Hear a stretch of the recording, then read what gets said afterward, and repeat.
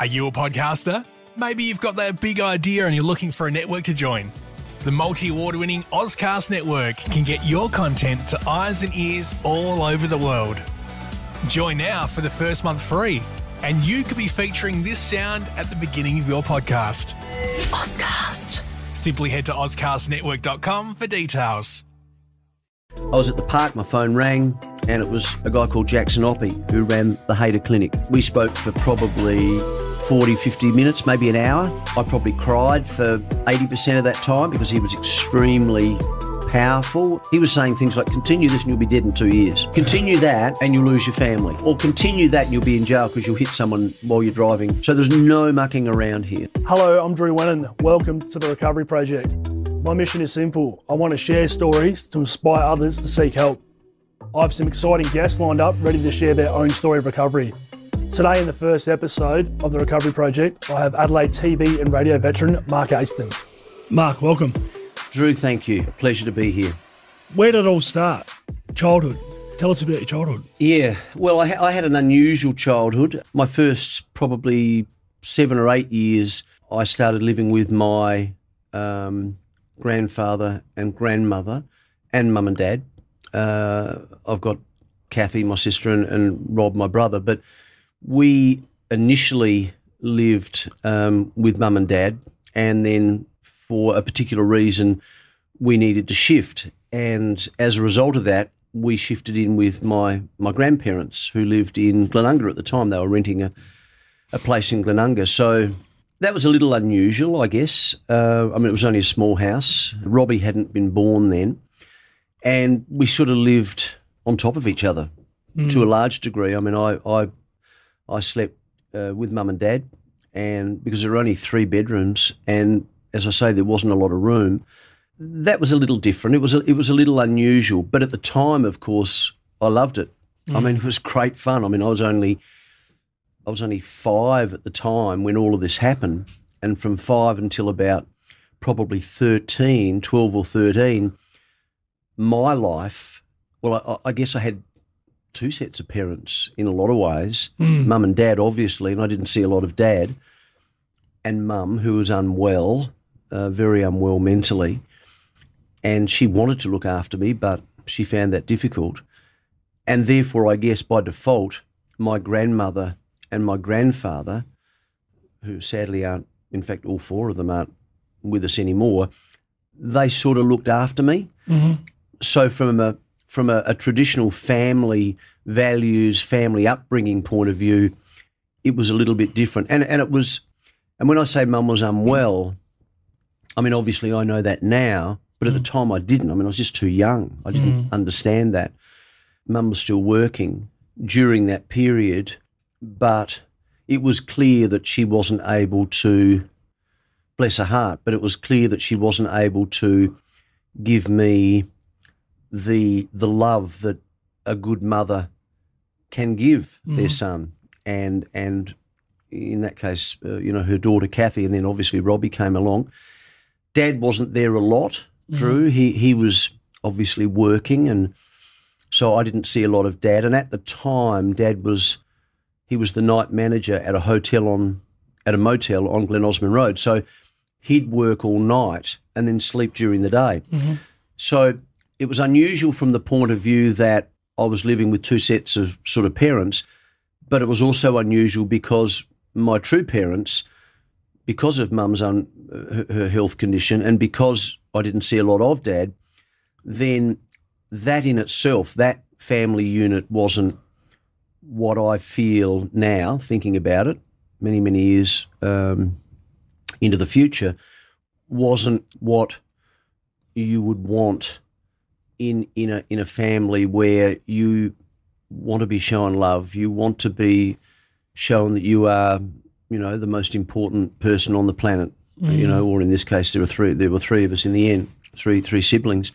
Yeah, that wasn't there. But I know that now. I didn't know that at the time. So if I had, if I had, um, if I had something to talk about, for example, I was having some issues, and again, bearing in mind I was very young, but if I had issues at school, I couldn't go to dad.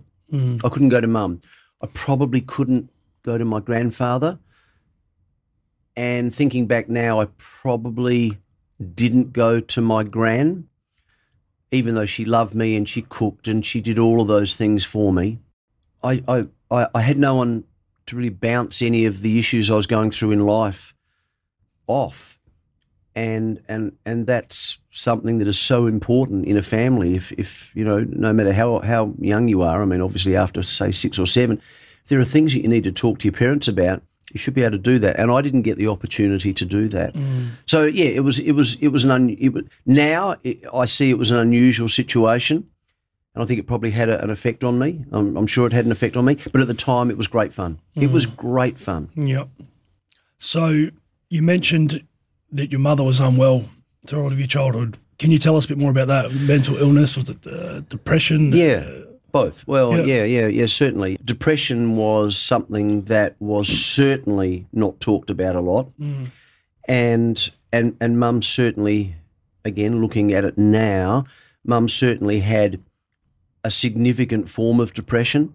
So there'd be times where she'd be good, and she was working at a place. Uh, many of our listeners and, and viewers wouldn't know this particular department store, but she was working at a place called G&R Wills, which was a bit like John Martin's, a bit like um, David Jones, that sort of thing.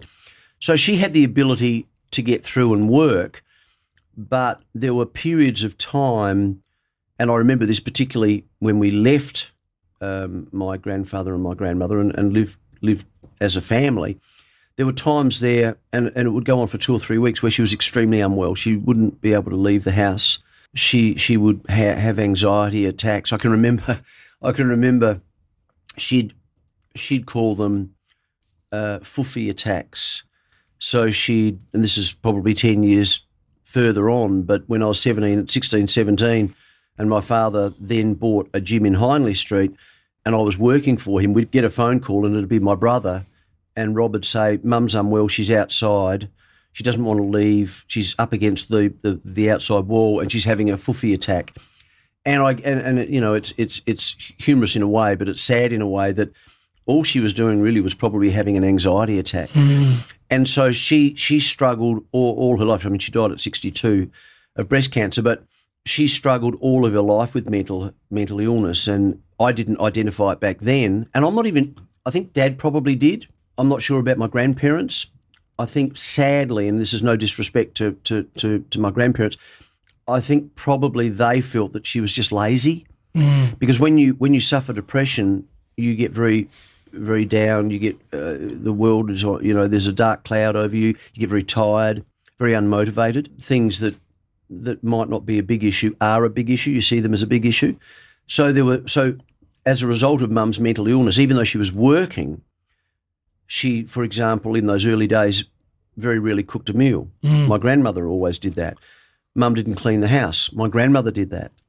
So those sorts of things. So she had, you're right, she had mental health issues, depression, and and that was treated in those days simply by, I mean, if you did take them to the doctor, by the doctor prescribing something like Valium. I mean, even shock treatment a bit later on in her life, but Valium. I mean, obviously, Valium is a, is a drug that relaxes you and makes you super tired. But you know, there are so many more drugs these days that you can that you can utilise that can help you with your mental health, and there are so many more facilities. Back in those days, of course, it was Glenside, um, and most of our viewers and listeners would be aware of Glenside. I mean, Mum was in and out of, of Glenside, but yeah, she she suffered depression. Now, again, I keep saying, now I look back and I see how much that affected the family. Yep. I mean, it's a worry. Mm. If someone doesn't have the, the right understanding, as I said, they feel as though she's being lazy rather than being unwell. Yep. And obviously, that caused a, a bit of friction between mum and my grandmother, particularly. And I'm not sure, to be frank, and again, I don't mean this disrespectfully to my father, but I don't think dad understood what to do. Mm. And I think part of the reason that dad wasn't there for a greater period of the time that he, he was married to mum, particularly from that time, I- I, think that was the reason. I think he just thought, well, you know, hopefully she'll get better. It's a bit of an issue. Yep. Uh, I don't know how to handle it, and maybe the best way for me to handle it, as in my father, is to just do is to do what I do and and, and try and distance myself from Yeah. it, which obviously is is sad for mum, tough for dad, but I think it's very prevalent. I think a lot of people feel that way because they just don't know how to deal with someone who has depression. Yeah, definitely. So into your into your teenage years, obviously when you're a bit younger, dad not being around much, mum being unwell, your teenage years, I'm assuming, would have been you'd have had to grow up quickly, I'm assuming. Uh, yes, I'm not sure whether I did, but that was certainly something that I needed to do. Yeah. I wasn't sure how to. High school. Did you find that difficult? Not obviously, as you said before, not having the parents to talk to, um, finding issues like that through high school. So we're talking probably, I don't know, 12, aren't we? 12, 13, 14. Well, I left school. I left high school at 14. There was definitely signs that that I was following in mum's footsteps earlier than that. Uh, I can remember, and I have told this story before, and it sounds so twee and so insignificant, but but I can remember back when we were living with my grandparents. I must have been about eight or nine, maybe. I can remember being at Glen Osmond Primary, and there was a girl I liked, and I was very shy, and in fact, I still am very shy, and and I'm I'm an introvert, which is weird considering the job I did, but I do prefer my own company. But I was very shy, particularly shy of girls, and I was very, very low in confidence, extremely low in confidence. In fact, just very briefly, I'll, I'll explain that I was so low in confidence, and, and and I know this is I don't want to be confusing here, but when I was about six or seven, my grandparents would take me to my grandmother's sister's place. So uh, my auntie, I guess, yeah. And there were times where I didn't want to get out of the car. I can remember vividly liking this girl, and it was near the end of maybe grade four or five. I wasn't obsessed with her, but I liked her. And at the end of the year, prior to the end of the year, you are told what class you're going to be in the year after. I wasn't sure whether she liked me, but I sort of knew that she liked someone else, maybe as well or only. I don't know. And at the end of the year, when I found out that I wasn't going to be in her class and she was going to be in the class with that other guy, I got, and I can remember this vividly, I got really unwell. And, and I was off school for a week. I'm not sure whether it was a week, whether it was two or three days, but I feel as though it was a week. I was so unwell. I was so shattered. I was so upset that I couldn't go to school. Mm. So I, I, so I guess, and I know I jumped back there, but it's important. I think that's this is important. M- My mental health issues, I feel, started about then mm-hmm. because that I think that's an un, I don't know, maybe it's not, but I just felt it was so intense. And again, looking back at it now, I feel as though that was really totally over the top. But it's how I was. And I guess that has a lot to do with self esteem, self confidence, self worth, etc. So, getting back to your question about my teens, when we shifted from from uh, living with my grandparents and we moved on to Glen Osmond Road, Dad had just started working at the gym. So again, we didn't see him a lot because he was working long hours. Mum was particularly unwell then; she wasn't working at all. I can remember having a day off from school. I had a cold, and I was I was I was doing some paper mache, and I was making what I was hoping was going to be a doll, a ventriloquist doll, because I was into magic and ventriloquism in those days. And I was making the head, and I can remember blowing a balloon up and then putting the paper mache around the head, and then you deflate the balloon, and of course you've got a, a, a nice structure, and then you can work on it. You put the nose and the eyes on it.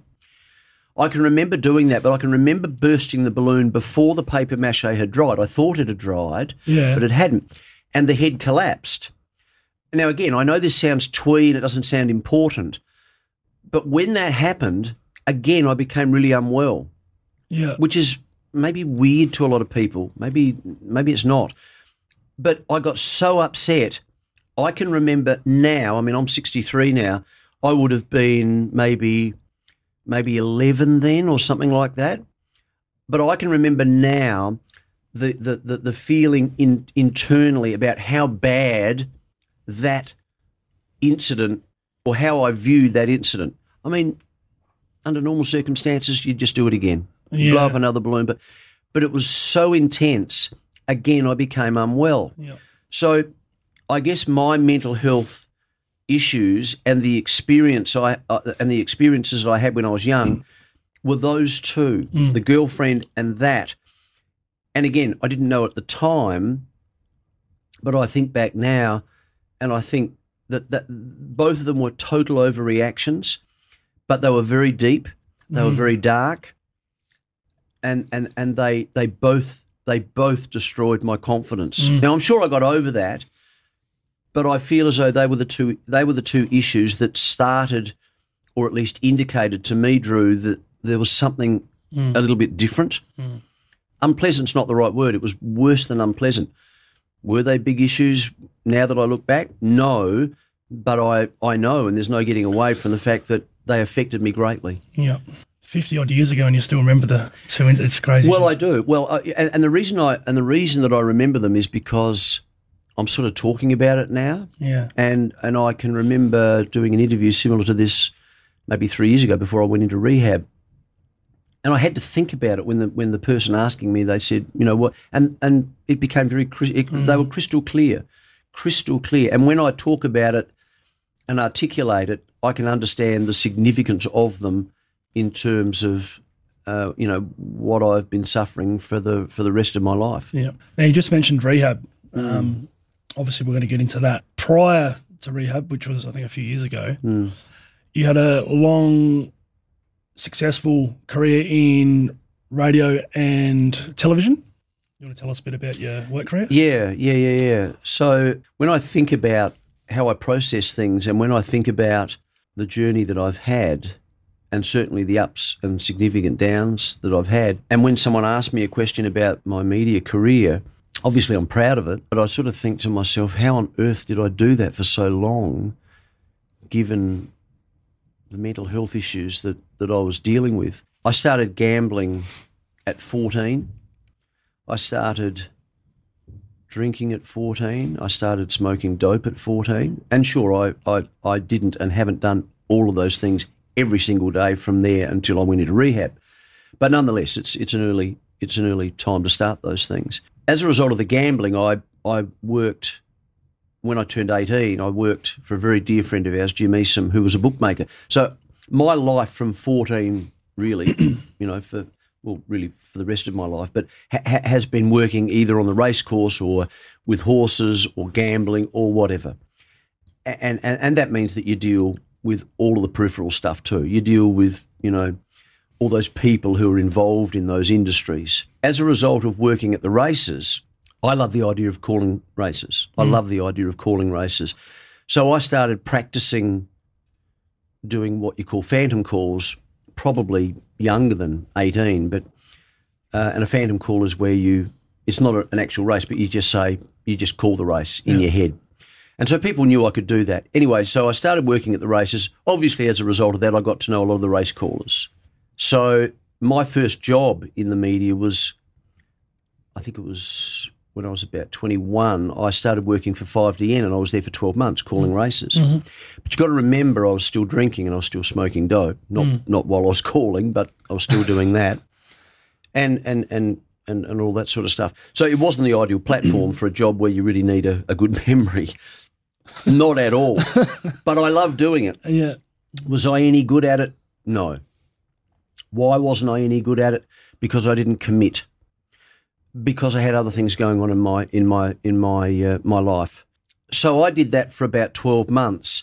But as a result of not doing it well, at the end of the 12 months, uh, Gary Bow, who was then the uh, program director at 5DN, rang me and said, "Look, we're going to let you go. Um, you know, you've done a good job, but we're going to head in another direction." So that was 1982. Are you a podcaster? Maybe you've got that big idea and you're looking for a network to join. The multi award winning Auscast Network can get your content to eyes and ears all over the world. Join now for the first month free, and you could be featuring this sound at the beginning of your podcast. Auscast. Simply head to auscastnetwork.com for details. I then went to Darwin uh, with my dear friend Brad, and we were there for two years. Now is probably not the right time to tell you what exactly went on in those two years. Can only imagine. Well, for a couple of reasons. One is, you know, we can, you know, maybe discuss whether we discuss that. on another podcast. But the second reason is I've got no idea. I have no, I have no clue. I don't think anyone did have any clues. Anyway, so I spent two years up in Darwin, and I did a bit of race calling up there. I did. I actually called the greyhounds up there. I did some TV. Uh, coming straight from the casino, you know, the Saturday Saturday night, I'd get to the TV station about ten o'clock, and I'd be in my Hawaiian shirt, and I'd do the Greyhound show. Again, I have no idea. I have no, I have no recollection of that. I've just read it. So I, I did some TV. I worked at the casino up there. I worked at a nightclub. I've sold advertising. So I did that for two years, and it was good fun, but it was very dark, really dark, because there were no rules. But I loved it and you can appreciate that can't you? Mm. And and and of course i was 24 23 24 25 it was just great fun. Thank god my mother rang me on the hard line and said there's a job in the australian. She'd read it in the the australian. She said there's a job in adelaide at the abc for a radio sports reporter. So so the long and short of it is i applied for that job and got it mm. And that was in 80 late 80 late, uh, early 84 and i got it for six weeks. So i went down to adelaide left darwin. It was great fun but thank god i left darwin because i probably wouldn't be here now if i had have stayed in darwin. Worked for six weeks. I was so unconfident. I don't know. I'd never called football before. And yet in the end i, I, I ended up calling football which i'm very proud of. Mainly SANFL. I did some AFL, but mainly uh, SANFL. And so I got that job for six weeks. And then at the end of that six weeks, Drew, and Malcolm McDonald, who's no longer with us, and I owe him, really, I owe him my life as well to a large degree. He was our sports director at mm-hmm. the ABC. He gave me the opportunity to continue on. Now, that was in radio. We also had a newsroom, which was run by Grant Heading, or he was the chief of staff there. And Grant's a dear friend of mine now, and I, and I owe Grant so much. At that time in 1984, there was no it- it's different to now. There, there was a news reader, but there was no sport reader, mm. and there was no weather presenter either. So Grant thought, "Do you want to do some TV? Have you got, have you done any TV?" So I did a little bit of TV, as I told you, up in Darwin. So I showed him the tape. He said, "Look, I like that." He said, "We might do something about that Hawaiian shirt. Probably doesn't work down in Adelaide." and he said, "You really need to get your hair right." He said, "We'll probably use makeup and a lot of lighting." he said, "Would you like to? Would you like to be involved in our news service and read the sport?" And so I did that as well. So I was working in radio and TV. Now I worked at the ABC until '96. Then I went to Channel 10 and was the sports presenter there, and I was a reporter, and I produced a bit as well, and I love that. So I worked in newsrooms, and along the way, I also did breakfast radio, and I've done my own radio shows and stuff like that, and and and that all finished as as uh, as as quickly as it started, really, four years ago. So I did that for about 35, 40 years. I just want to say this: I'm very proud of what I did, but I sort of feel as though I fell into it you know, uh, I have some dear friends in the media. You know, Tom Rehn, who works at Channel 9, for example. I'm sure that Tom wanted to be a sports reporter, sports presenter, sports commentator from the age of five, six. I didn't. Sure, I wanted to be a, a race caller, but that, that ended quickly. But I, I didn't grow up saying, I want to be in TV, I want to be a sports presenter, I want to be a commentator, I want to be a, uh, a reporter, I want to work in newsrooms. I, I didn't have that passion. And to be absolutely 100% honest, I think probably thinking back for the 35, 40 years I was in the media, I'm not sure I was 100% totally passionate about it. Yeah. I, I enjoyed it, but I don't think it was necessarily, I'm getting up today because I'm a sports presenter, I'm a reporter, I've got my own radio show, and I love this. I happen to be good at it. Yeah. Well, I say good, and I, I mean that humbly. I, course, there are better, of course. I happen to be pretty good at it and I was comfortable. And you know, I don't mean this in a disrespectful way, but I mean you, you do after a while you do get paid well for it. So it's not a difficult job. It's not like you're working, you know, on the roads. And with respect to it, people who do that, or perhaps people who are working in department stores who are getting thirty dollars an hour. And I, again, I mean no disrespect, none whatsoever. I mean I'm uh, working at La Trattoria at the moment. You know, the pizza pizza shop. I do eight hours a week it's not a difficult job for the money if you've been in it for a while and you hmm. become a presenter and a commentator and do your own show. It's not a bad job for the money you get. Hmm. I enjoyed it, but I never really felt that it was sort of absolutely what I wanted to do. I'm not sure what I wanted to do. I still don't really know what I want to do, but it wasn't an absolute passion. I just fell into it. Yeah. And I think it's important to understand that I appreciate 100% how wonderfully lucky I was to have done it. And if I pass tomorrow, I can look back and say, you can be proud of what you did. You, you did it well. If I had my time again, I, I'm not sure that would have been the direction I would have taken. Does that make sense? No, it does. Does it make sense? I mean, it sounds odd because I think most people would think he must have wanted to do. He must have wanted to have done that from the age of five, and he's got his dream job. I'm not knocking the job at all. Mm. I'm just saying I'm very, very, very fortunate to have done it, and I'm un, I'm uneducated. I'm not the smartest, you know, smartest guy around. I have my issues. You know, I've made a lot of mistakes. Will continue to. I've made some bad mistakes. And I think if you put all of that in one bucket and then say, but you did that, it sort of makes me feel a bit better. Mm-hmm. You know what I mean? Nothing to do with the profile, nothing to do with the fact that people recognise me. I wasn't interested in that at all. But it, it's just at least I can hang my hat and say, you know what? For 35, 40 years, you did that pretty well. Yeah. And, I, and that makes me feel good. Definitely. So, in a general sense, that's, I know that was a long winded way of answering it, but in a general sense, that's how my career started.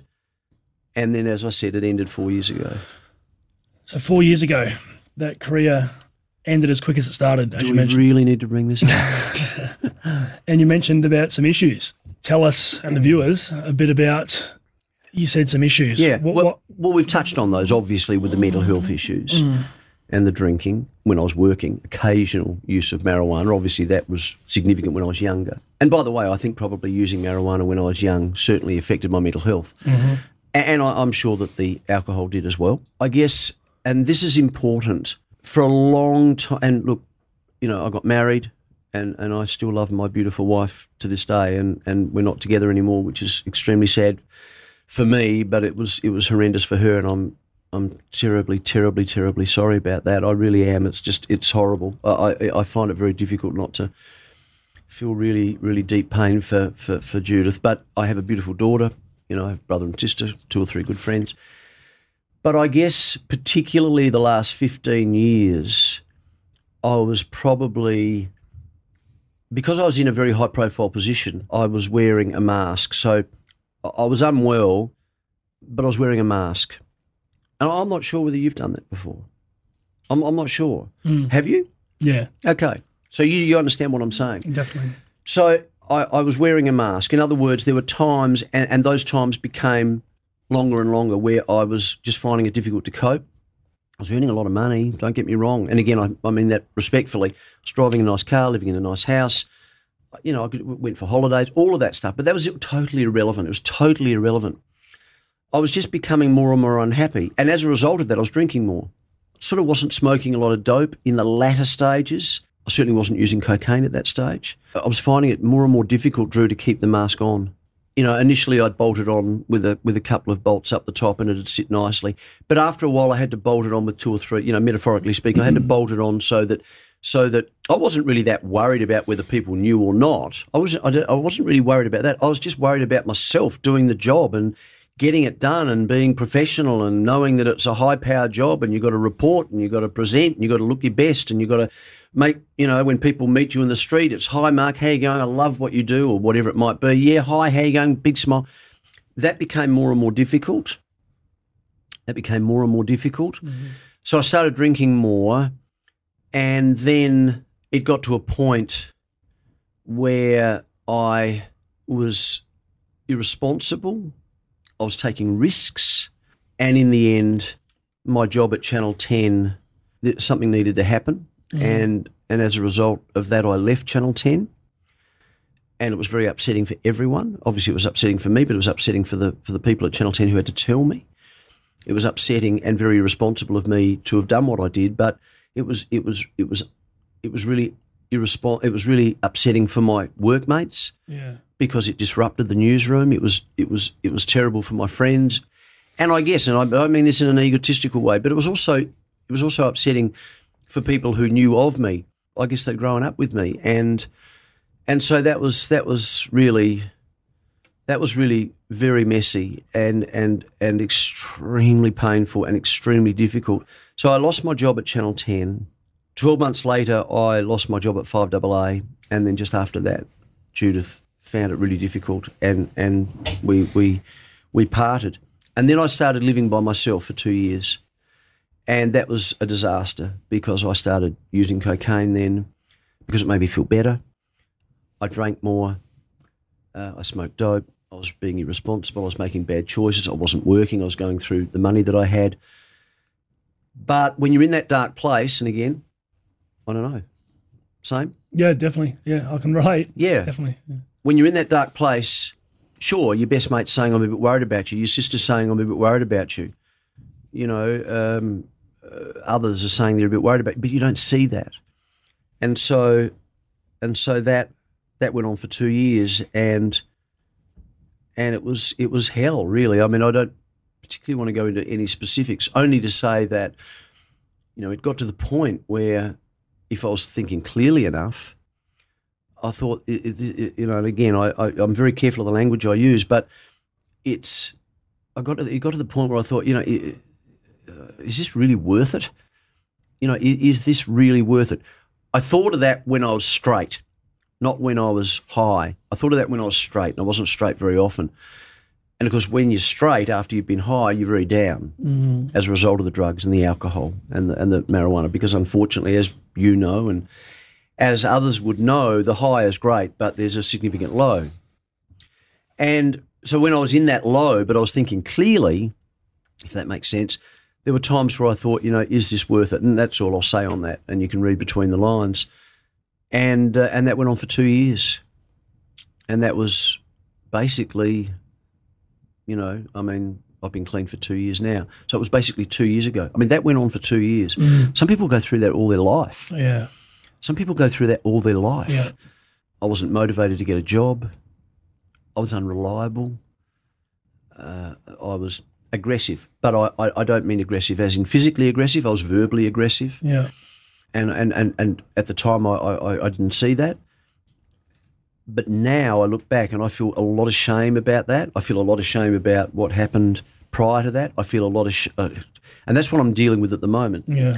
Uh, you know, shame, remorse, Guilt. uh, or guilt, all of those things. That's why it's always, it's always, it, it's always a day by day thing. I mean, as I said, I've been clean from drugs and alcohol now for, for, for two years. I'm still working on other stuff, as Yeah. in other parts of my life, but I still have that guilt and that shame. Mm. So that was two years of, of being in the darkest possible hole. It was wet, it was humid, it was it was clammy, it was just it was just an awful, awful part of my life. Mm. And it was difficult for people who knew me. So what changed? What what the two years of being in the darkest place of your life? What was the moment, the light bulb moment that made you think, oh, something's got to give? What what what, what was it? Again, I preface the, this story by saying I'm still working on things. Yeah, of course. So I'm not saying that that light bulb moment came and then all of a sudden everything was great. I think that's really important to, to, to let people know. I mean, it might be different for others. But uh, my, my dear friend Brad and my sister contacted me and said, why don't we go go and have a have a meal down at Glenelg, a nice seafood restaurant down there. So I went down and Kathy was there. So I knew why they were there. And, and, the thing that you've got to remember this too, Drew, it's that some people some people are in denial. I, I've never been in denial. I've never been in denial. If you had said to me three years ago during that two year period, mate, this is not going well, I wouldn't have said to you, yes, it is, everything's fine. I, if you had really nailed me, I would have said, no, I know it's going badly. No, it's mm-hmm. really, this is really turning to shit. But I still would have continued on. Mm-hmm. Some people are in denial. That's another conversation for another day. I've never been in denial. So they took me down to the restaurant, and obviously, in a very general sense, no, not general sense, in a very specific sense, they said, We're very worried about you. So there was no, What are you talking about? Get out of my face, leave me alone, uh, you know, I'll run my own. None of that. So I'm very blessed that I've got to be proud of myself that at least I accepted that. Yeah. And they said, What can we do? And I said, I'm not sure.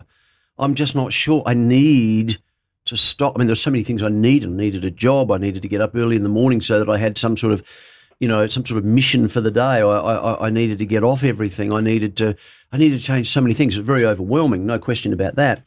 But I said, I, I just don't know. And they said, what about rehab?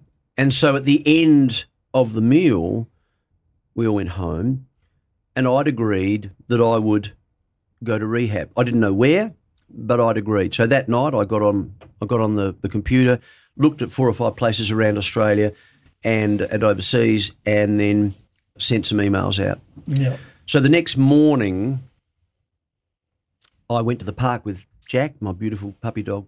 At that time, I have Toby now, um, and uh, I was at the park. My phone rang, and it was a guy called Jackson Oppy who ran the Hader Clinic in Melbourne. Now he must have known me. Maybe he knew me from TV. I did a bit of national stuff there, so he, he must have known me. But anyway, that that I'm not sure why I say that, but I guess the point I'm making is he he he, he just knew a bit about my background, my Yep. media background. So it wasn't as if he was ringing a ran- I say a random. I don't mean that disrespectfully either. It wasn't as if he was ringing someone who who he knew nothing about. Mm-hmm. So he, he rang and we spoke for probably 40, 50 minutes, maybe an hour. I probably cried for 80% of that time because he was extremely powerful and motivational and to the point. Yeah. Like there was no mucking around. He wasn't saying, look, you know, how's it going? I mean, you know, he, he, because I, obviously I told my story as the conversation started. So there was no, oh, that's okay. That'll be fine. It was none of that. He was saying things like, continue this and you'll be dead in two years. Continue that and you'll lose your family. Well, obviously my marriage had fallen apart, but you'll you'll lose your sister or, or, or your brother. They'll, they'll, they'll, they'll, they'll wipe you uh, or whatever. Or, or continue that and you'll be in jail because you'll hit someone while you're driving, uh, you know, uh, inebriated or, you know, uh, on drugs. So there's no mucking around here. So we spoke for we spoke for an hour.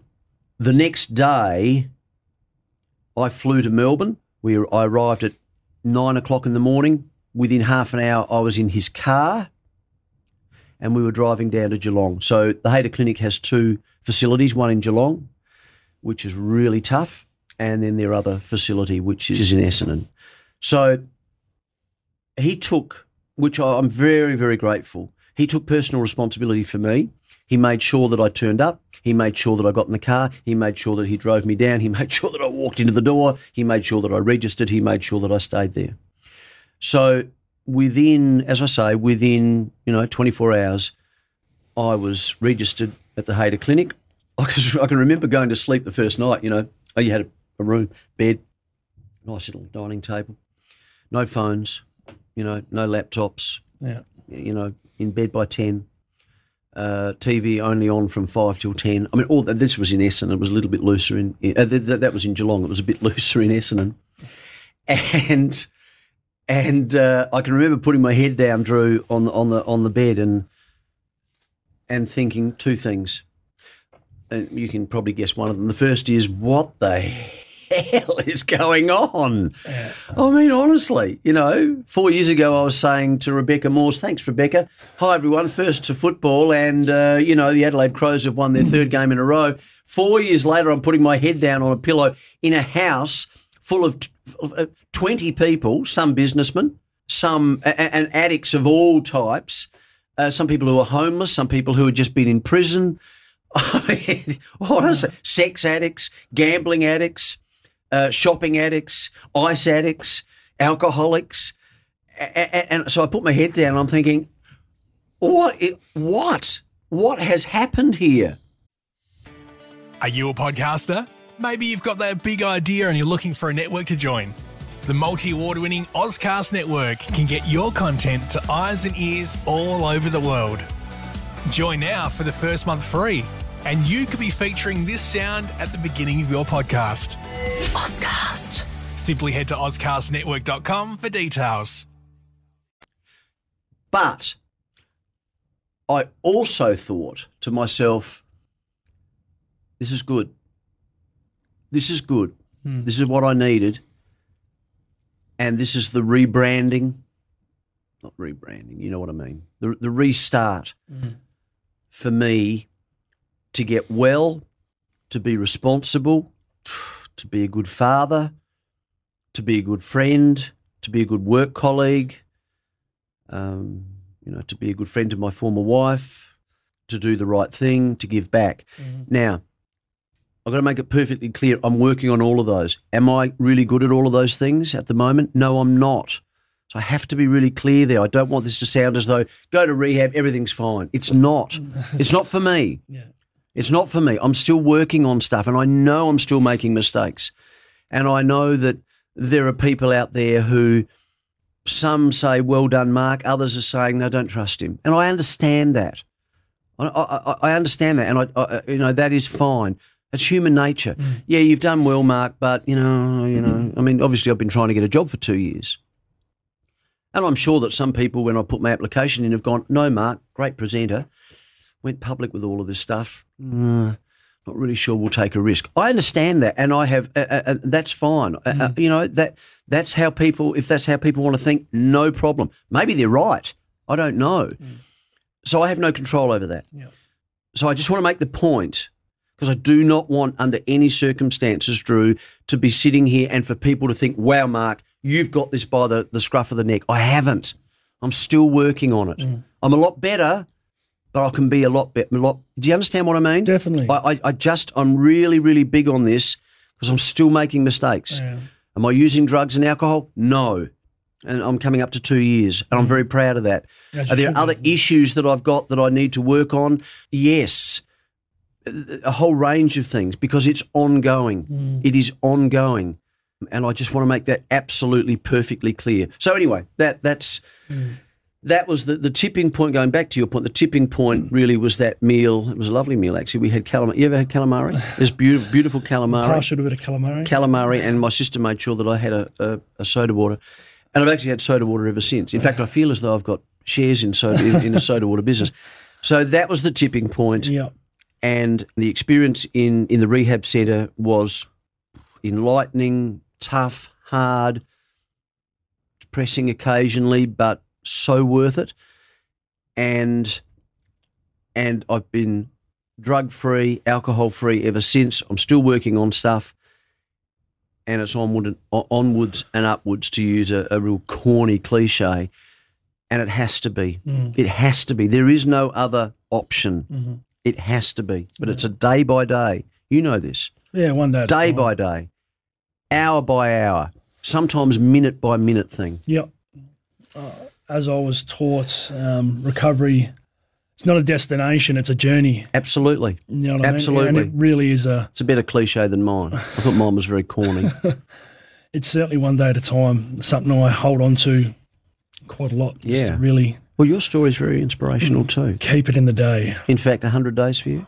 Uh, 101 today, yeah, 100 days yesterday. So, So well done. That, that's Yeah. so important. Honestly, that's. Do you appreciate that? oh, Do you really appreciate that? de- definitely. It's a big thing. Oh, it's, yeah. How's your family feel?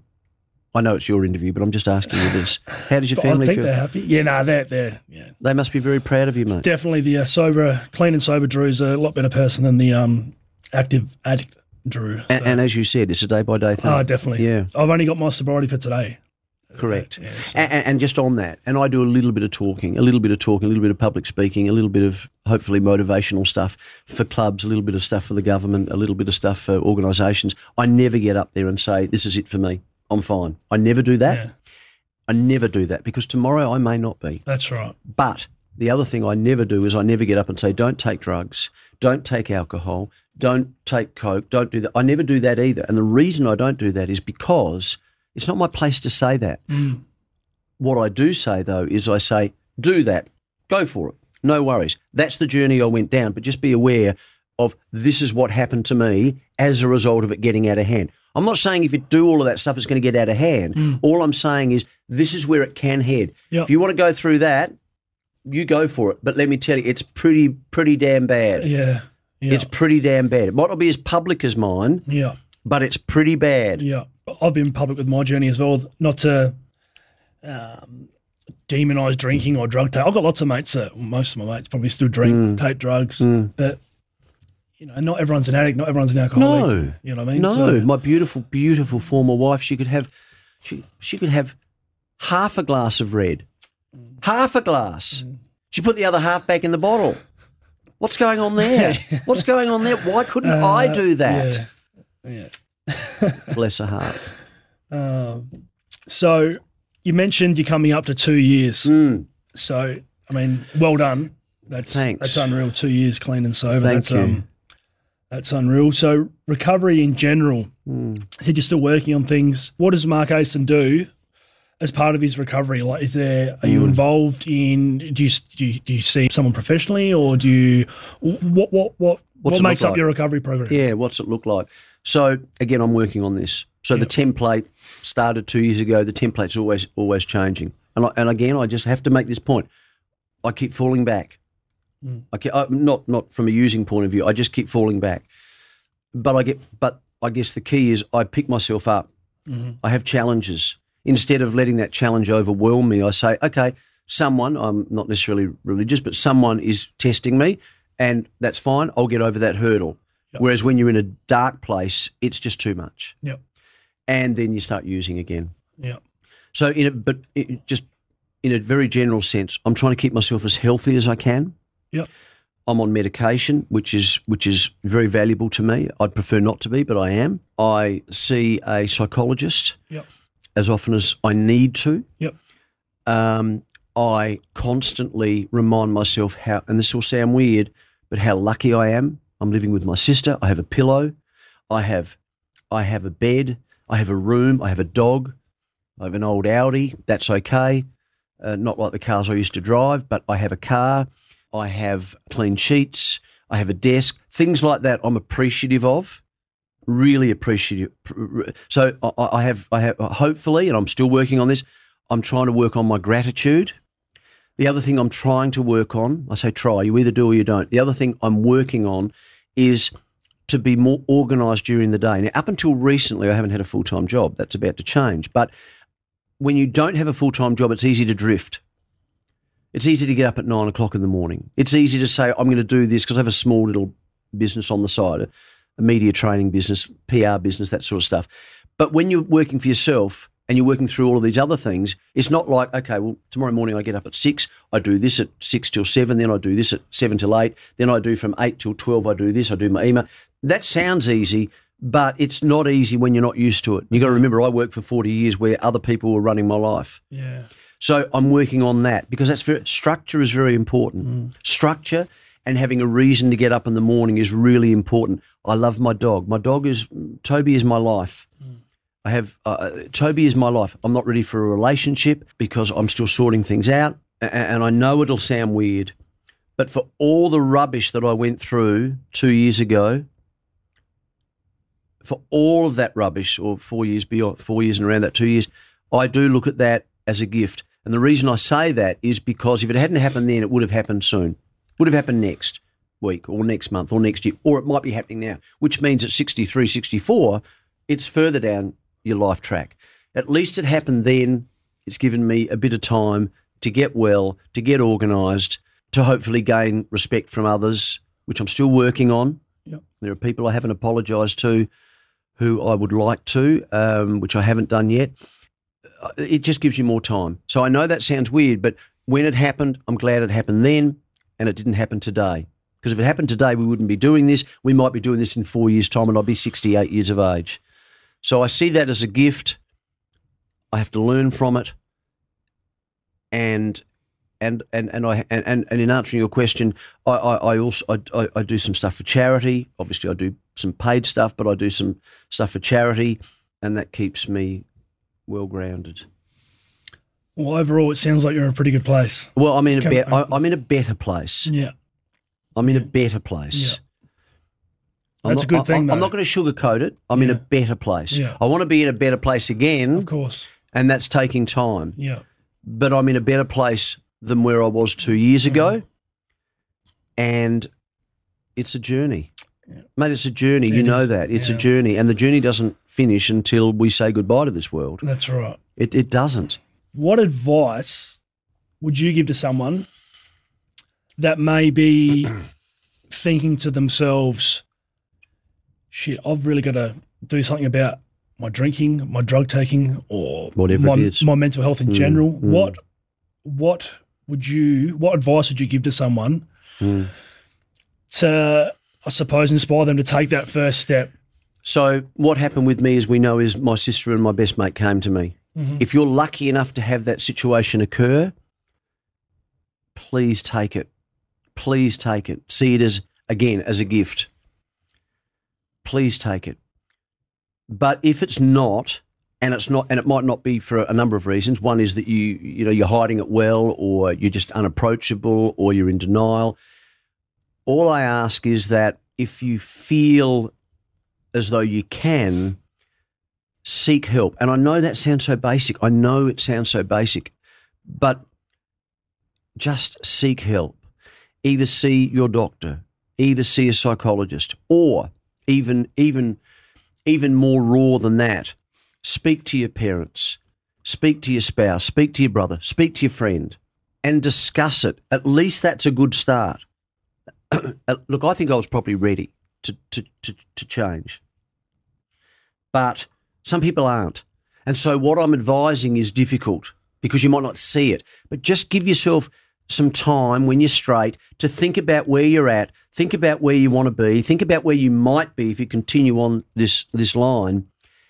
And if you're worried about it, and if you're concerned, and if you see it getting worse, and if you see things really falling apart, speak to someone.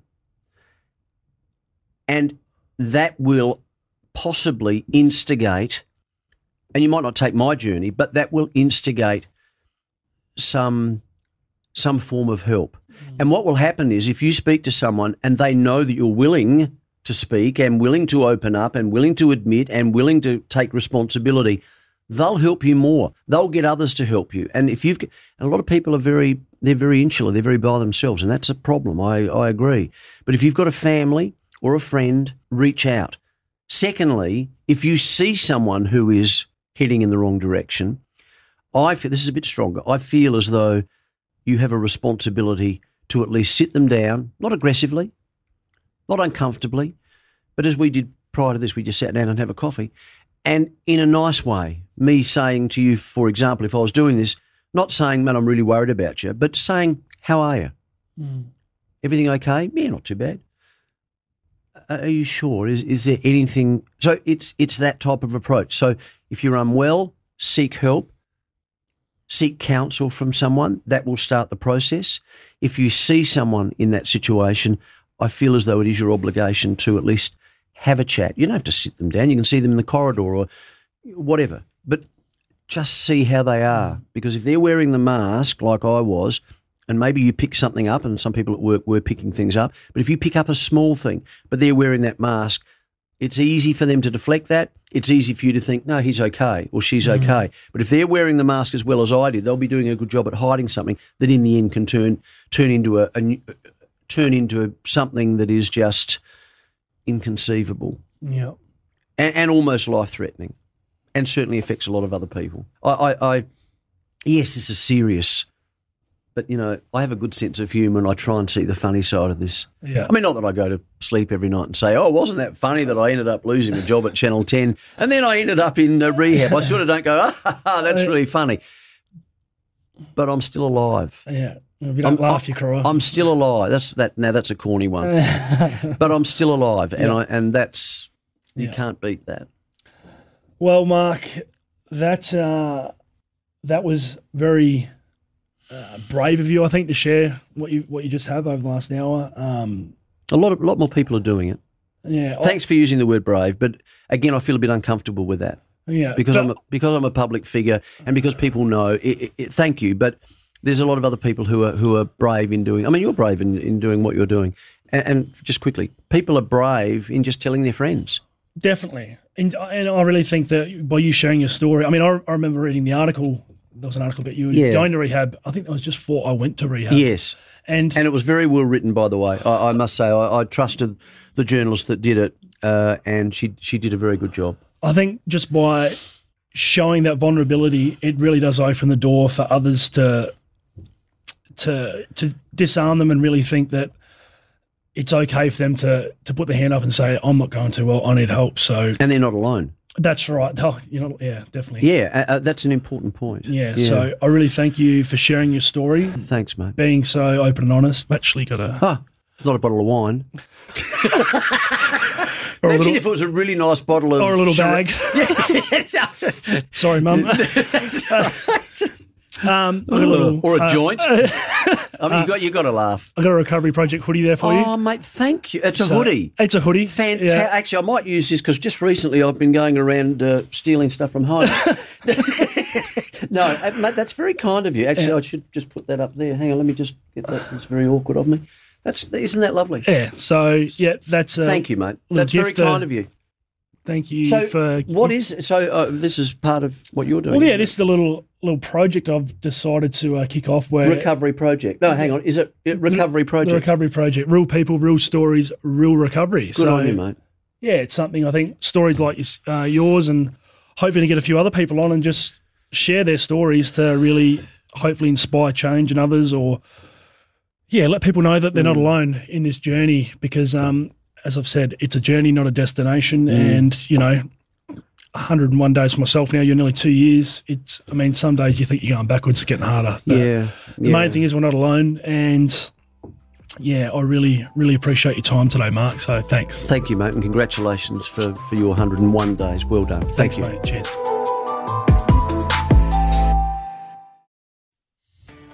Are you a podcaster? Maybe you've got that big idea and you're looking for a network to join. The multi award winning Auscast Network can get your content to eyes and ears all over the world. Join now for the first month free, and you could be featuring this sound at the beginning of your podcast. Auscast. Simply head to AuscastNetwork.com for details.